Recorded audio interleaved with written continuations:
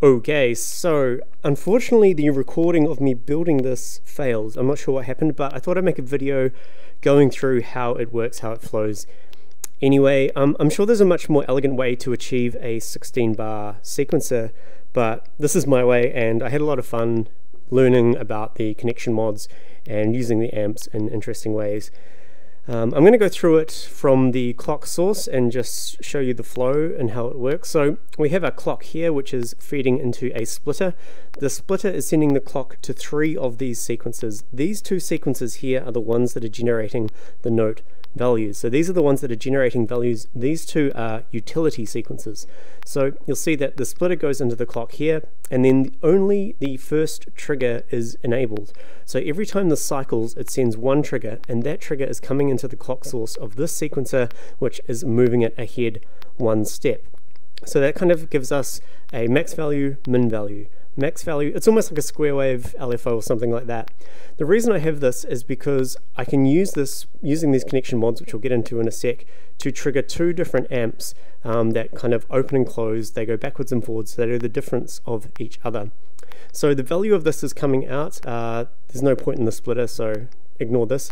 Uh, it's going into a subtract and then I have a knob set to 1 and that's because this amp was going from halfway to the max value. I'm not sure what the actual values are but it was going from 50% to 100%. I needed it to go from 0 to 50 and by adding uh, by subtracting 1 from the equation that seemed to work so that subtract goes into another splitter and that goes straight into the input of the amp.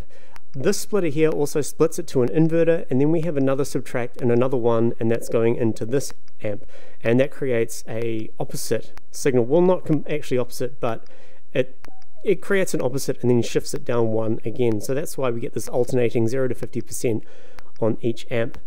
Now the reason I do this is each one of these uh, sequences that are generating values, we'll call them value sequences, they are connected to an amp themselves and what I wanted to do was when uh, one of these was open, one would play. When the other one was open, the other one would play. And this is how it works. So the output of the amp comes down um, and it goes into an, a splitter here. Just uh, I'll get to the splitter in a minute, but basically it goes from the output into the CV in. When I turn the CV in up to its max and feed the value out of the sequencer into an inverter and then into the input, um, what happens is it basically multiplies the signal. So when this is down, it's uh, letting that signal through. Uh, it's not letting that signal through.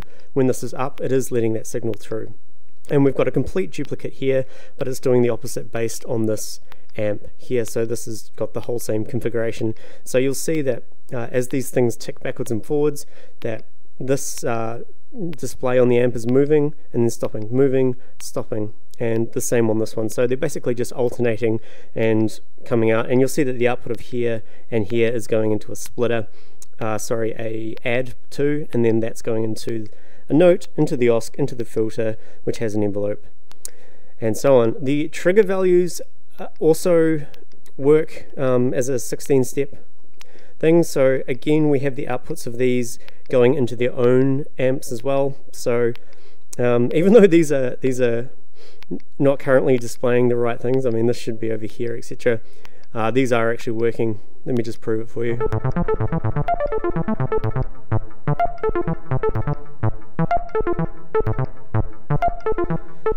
There you go. So these are coming in as well, and um, the splitter before it goes into the CV in of the value amp is also going into the trigger amp as well. So that's just creating a duplicate system. So we've got one for the one for the value, one for the trigger, and then one for the value and one for the trigger on each one.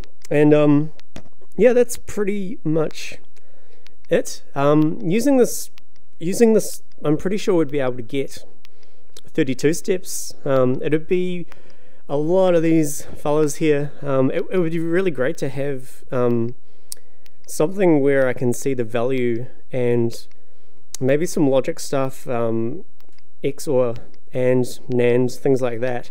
Um, with those basic, with a bunch of additions to these things, um, we can build our own stuff while uh, the new things are being built.